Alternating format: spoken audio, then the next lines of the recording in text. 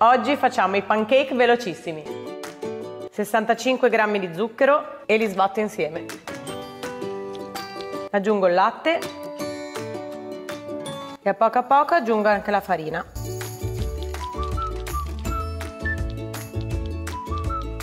Per ultimo aggiungo il lievito.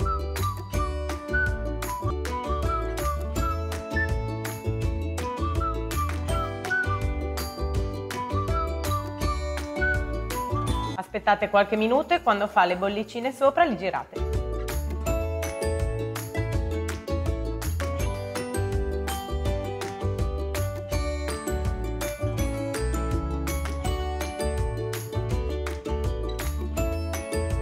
Ricordatevi di non schiacciarli e lasciarli belli gonfi. I pancake sono pronti, adesso andiamo a guarnirli.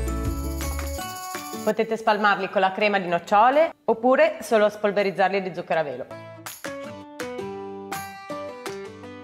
E ora che li avete guarniti, allacciate il grembiule e preparateli anche voi.